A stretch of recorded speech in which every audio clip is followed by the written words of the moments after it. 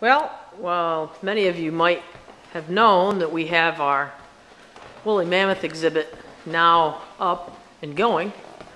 Um, I've got another new announcement going on here in the back with our panoramic view of the land of the woolly mammoths. And that is, our new kiosk is finally up that plays movies.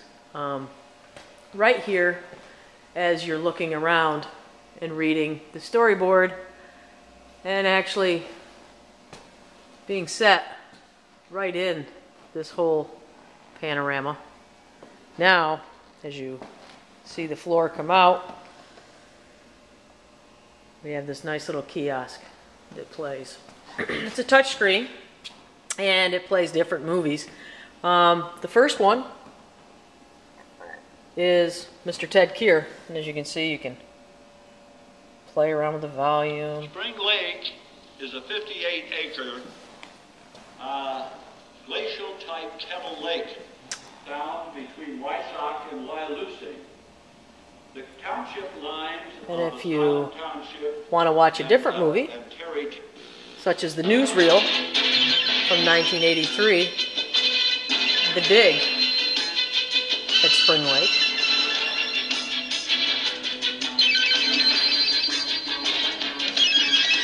This is actually a compilation of the whole summer, different news clips that went on at Spring Lake. And then we also have made some movies of our own. This one is the Paleolithic period of our region. So this is talking about the time when the woolly mammoths lived and what our region looked like. We also made another one. This is Evolving over time, part two. a the second part of the video that SRAC actually developed. And the last is early European contact.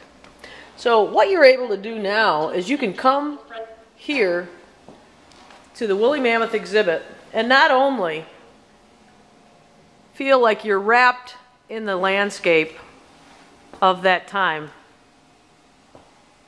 but you can also watch movies that bring you into the time of the excavation itself and the time of what this area looked like back 12 to 15,000 years ago.